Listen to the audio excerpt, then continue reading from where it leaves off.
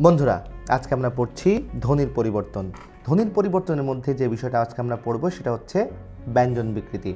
এখন তোমাদের মনে রাখতে হবে, স্বরধ্বনিতেও কিন্তু কি হতে পারে? বিকৃতি হতে পারে। তবে এটা স্বরধ্বনি না, এটা হচ্ছে ব্যঞ্জন বিকৃতি। তো চলো, আমরা ব্যঞ্জন বিকৃতি একটু দেখে ফেলি।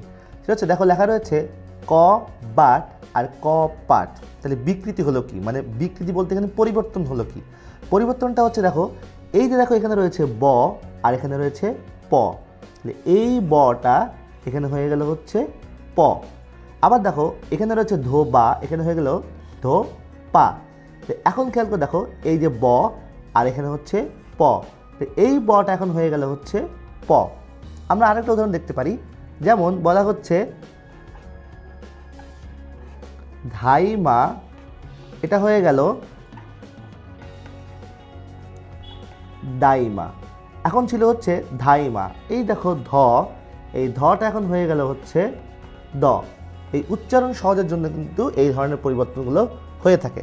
এখন দেখার বিষয় হচ্ছে এই যে ব্যঞ্জন ধ্বনির যে পরিবর্তনগুলো, একটা ব্যঞ্জন দিয়ে কিন্তু আরেকটা ব্যঞ্জন পরিবর্তন হচ্ছে। যেমন ব হয়ে গিয়েছে প, আবার এখানেও ব হয়ে গিয়েছে প, আবার এখানে ধ হয়ে গিয়েছে দ।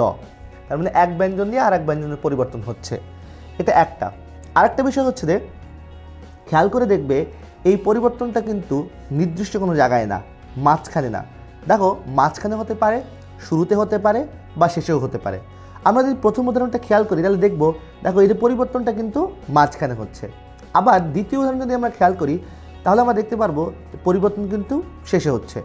আর যদি শেষের উদাহরণটা দেখি, তাহলে খেয়াল করব যে এই পরিবর্তনটা কিন্তু শুরুতে হচ্ছে। তাহলে মানে আমরা বলতে পারি, শুরু হোক, শেষ হোক, অথবা মাঝখানে হোক, যেখানেই হোক এই ব্যঞ্জন দিয়ে ব্যঞ্জনের যে পরিবর্তন হয়, এই পরিবর্তনকেই বলা হয় মূলত ব্যঞ্জন বিকৃতি। বন্ধুরা, এছাড়াও যদি তোমাদের কোনো প্রশ্ন থাকে, অবশ্যই সেই প্রশ্ন কমেন্ট সেকশনে জানিয়ে দিও। আজকে এ পর্যন্তই। কথা হবে অন্য কোনো এক ভিডিওতে